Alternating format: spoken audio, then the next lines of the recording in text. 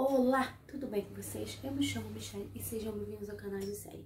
E nesse vídeo eu vou falar sobre o episódio 179 do anime de Boruto, onde nós temos Victor que está com o corpo se deteriorando e que a marca da maldição que ele colocou para estender a sua vida acabou virando uma doença incurável. Então ele quer executar o seu plano para conseguir estender mais ainda a sua vida. E nesse episódio a gente conhece o amado e a Delta. Quem já viu o mangá já conhece eles, mas essa é a primeira aparição deles no anime. O Jigen também aparece e começa a desenvolver a história do receptáculo. Também aparece o dirigível nesse episódio e é sobre isso que eu vou falar nesse vídeo. Então se você quiser ver mais conteúdo sobre séries, filmes, animes e mangás, se inscreva no canal e ative o sininho para receber notificação sempre que sair um novo vídeo.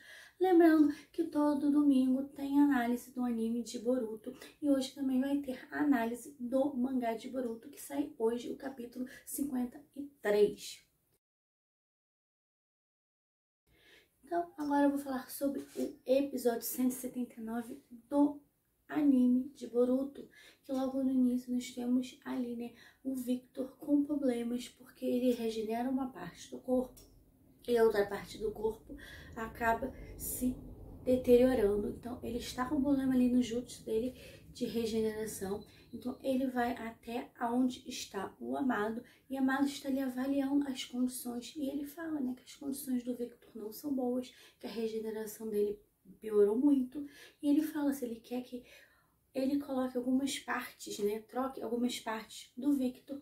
E o Victor diz que ele já ter sido cobaia uma vez foi o bastante. E que ele é um cientista maluco. E a gente vai tendo conhecimento, né? Que ele sim já fez, né? Experimento no Victor. Que o Victor uh, está com bastante problema. E que além dele não ter a perna e o olho direito ele pode acabar ficando sem mais alguma parte, já que ele não está conseguindo se regenerar. E que também ele tem uma marca da maldição que ele mesmo criou para a sua vida. Essa marca da maldição acabou comprometendo mais ainda né, o estado dele, porque acabou virando uma doença incurável. Então, essa marca da maldição é o grande ali, problema que o Victor vai ter que enfrentar. E ele quer isso nessa vida, ele não quer morrer e ele está bolando um plano para isso.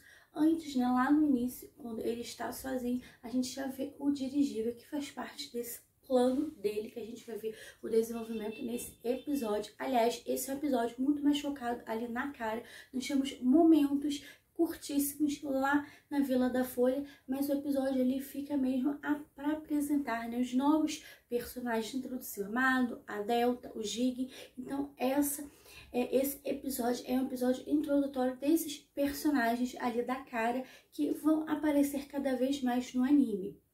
Então, o Victor, né, com o seu plano, ele toma ali remédios para entrar em coma, né, rápido, para poder ir na enfermaria. A gente vê, né, que depois que o amado é chamado pela Delta e se retira, a gente vê, né, o plano dele, ele falando, né, que se ele tivesse errado ali na dosagem, ele podia ter morrido. Então, ele acorda e ele ah, faz uma mosca mecânica ir até onde está o receptáculo, que é uma área privada, né, de alta segurança, uma área super restrita, para conseguir informações, porque ele é, quer informações, né? Esse, o receptáculo, esse experimento é importante para todos ali da cara e todos né, estão esperando esse plano uh, ser executado, porque eles têm interesse nisso. E fica muito claro isso nesse episódio, esse interesse uh, em cima do receptáculo.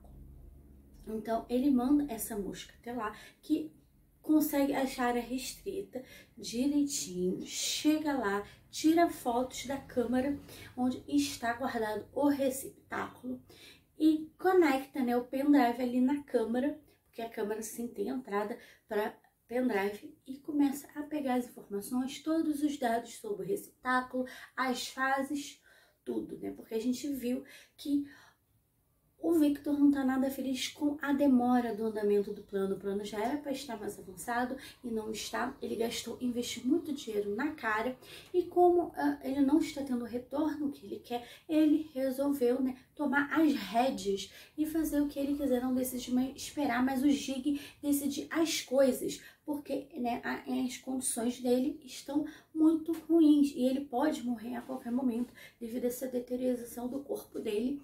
Então, é por isso ele uh, faz todo esse plano, já que o receptáculo não entrou na fase 3. Mas a gente vai ver isso um pouco mais frente que sim, ele entrou e o Amado escondeu isso ali de todo mundo.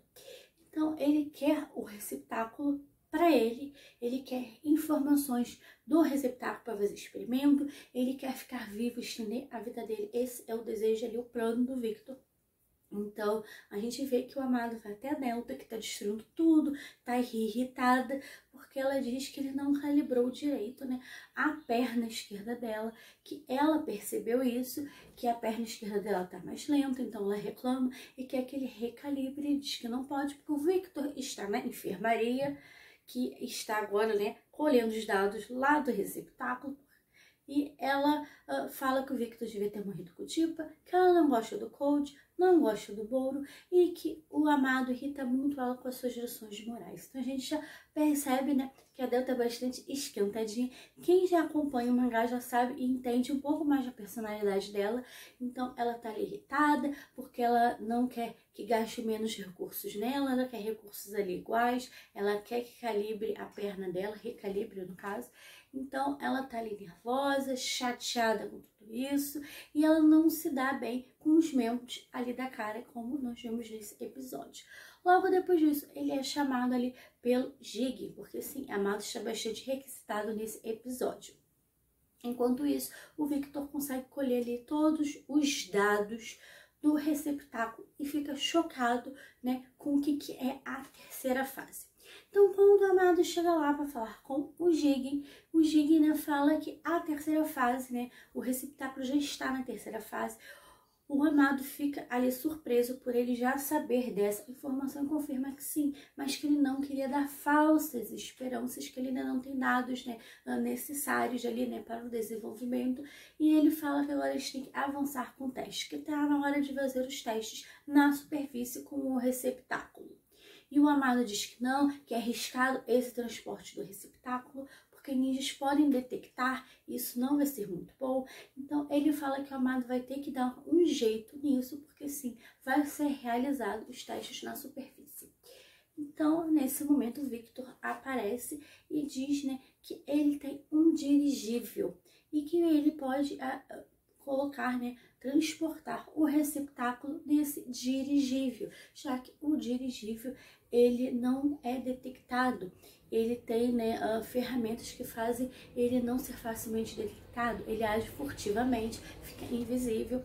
E o amado fica né, uh, achando estranho essa cooperação né, do Victor por ele querer cooperar tanto. Então ele começa a achar esquisito porque ele já tinha um dirigível pronto para fazer o transporte do receptáculo. Então ele fala, né? Você sabe as minhas condições, por isso que eu quero, estou com pressa. Mas mesmo assim, Amado fica com o pé atrás, né? Em relação ao Victor e fala que tudo bem eles utilizarem o dirigível para transportar o receptáculo, mas que o Victor não vai poder estar no dirigível eles vão determinar a rota através de piloto automático para ninguém poder mexer. Então ninguém vai poder controlar ou mudar a rota. Essa é a ideia ali do amado. Então eles concordam, a gente vê o receptáculo entrando no dirigível, a Delta é meio desconfiada do que vai acontecer, disse que se algo der errado vai ser culpa do Victor e do Amado. E o Amado falou que não, que o Victor não vai ter como influenciar e tal. E a gente tem duas uh, pequenas cenas ali na Vila da Folha, como eu falei, né? A primeira é o time 7 ali no escritório do Hokage, né? Sendo parabenizado pela missão que eles fizeram lá no País do Vale, né? Eles conseguindo ali, né, derrotar o Dipa, uh, ver aquela confusão toda envolvendo a árvore divina, o Victor, né, fazendo a árvore divina.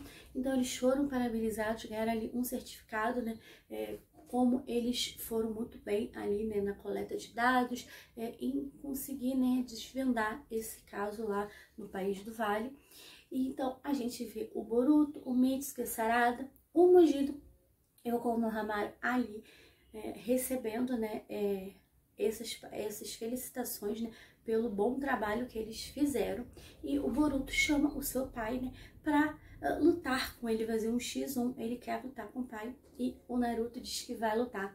Foi um momento bem legal ali de pai e filha dizendo que promete que sim, que vai lutar com o Boruto. Então já estou animada pelo X1 ali do Boruto com o Naruto, que sim, isso acontece realmente no mangá.